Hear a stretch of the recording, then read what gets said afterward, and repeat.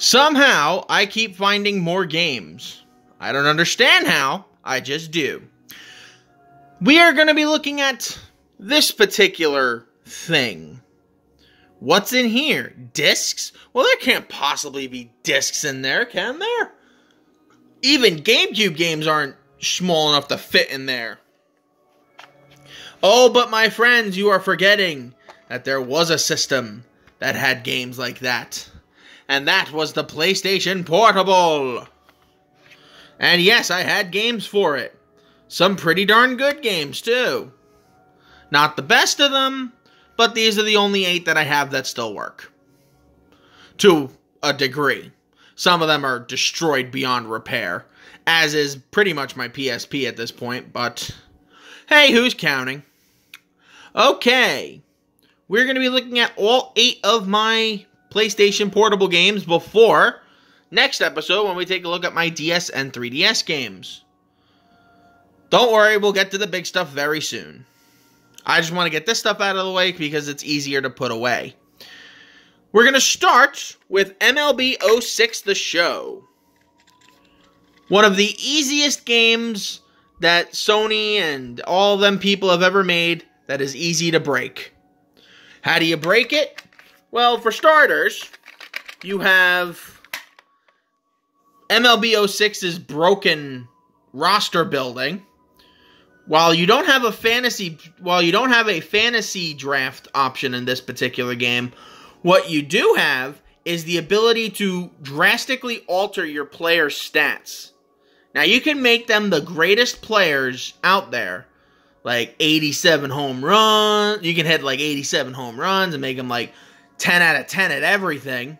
And then when it comes to re-signing them to a contract, all you have to do is nerf their skills to being barely minimum sign them to the shortest long term contract that you can, and you can essentially have a consistent repeating champion year after year after year on a budget of like the Oakland Athletics, who for the most part generally have a payroll somewhere between 40 and 60 million dollars a year. And you can have even less than that with this. I mean, I at one point used the Washington Nationals and I traded for all the guys I wanted on my team. Most of them relatively young guys, maxed out all their stats. They became a team that could not possibly lose. And then when it came time to renegotiating contracts, slashed their points down. So then I inked a, I inked somebody like say, who did I get? For I just want to throw a name out there. For example, let's say Alfonso Soriano. I got him out there, and I signed him to an eight-year contract worth eight million dollars. So he was making a million dollars a year while then just putting up ridiculous MVP numbers. Absolutely one of the most broken games out there. Star Wars Battlefront Elite Squadron. Now, when I first heard that this game was coming out, I was excited.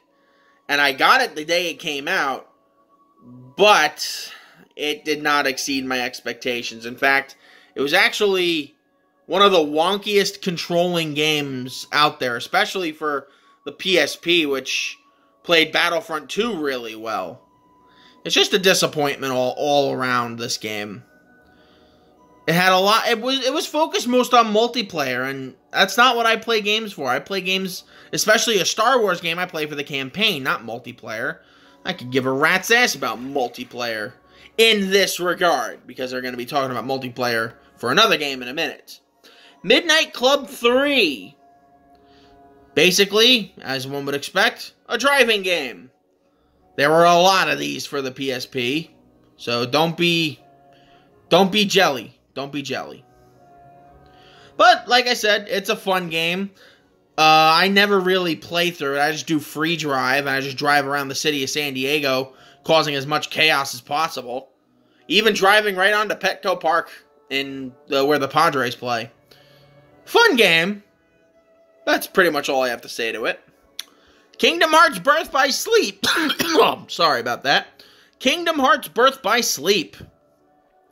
Bought this the day it came out, and this did not disappoint me like friggin' Elite Squadron did. Birth by Sleep is one of the, like I said, the ultimate Kingdom Hearts games. Perfectly well crafted, in my opinion The only issue I have with this particular thing is load times and how many times you need to format your freaking system's memory just to be able to play the game here. It is ridiculous the amount of content that's on this one disc, especially considering the games for the most part aren't that large in comparison. One of the selling points of this game, however, is multiplayer. Because if you have a bunch of your friends hooked up to the internet with the PSP, you can go places. You can literally take on arena missions, fight each other, take part in rumble racing, or even do a command board with each other. Unfortunately, they didn't bring that over to the PS4 one, which would have been amazing, but I could see why they didn't do it. It was a little bit tougher to do that way. We have Tony Hawk's Project 8.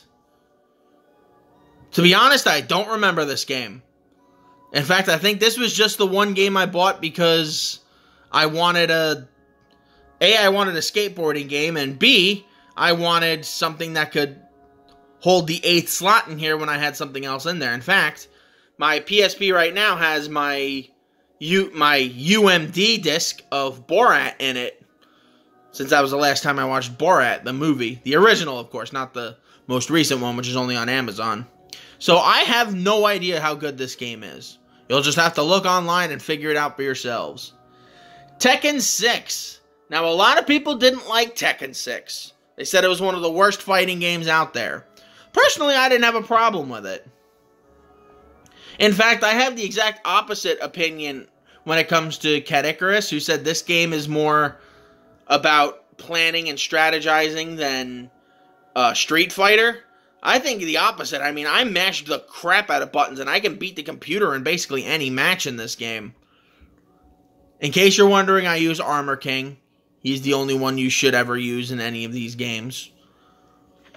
A caged lion moose beast man. I don't freaking know. Uh, Tekken's weird to me. It's all weird to me, but and then again, what else is new? MLB 08 the show. Why do I have this one? I don't know.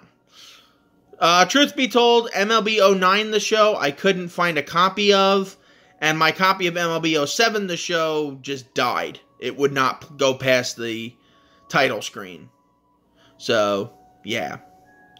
A uh, decent game. Very unpolished rosters. In fact, this game apparently was made before Johan Santana was traded to the Mets. So, the Mets have a really bad roster in this game. It's weird, but what you gonna do?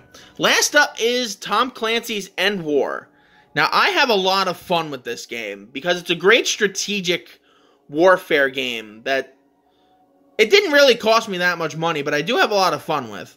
Uh, the backstory behind it is there's basically World War III going on, and there's three factions. There's the European Union, the United States, and Russia, and you have to, if I'm not mistaken, you have to beat one of them to convince them to join your side to destroy the other.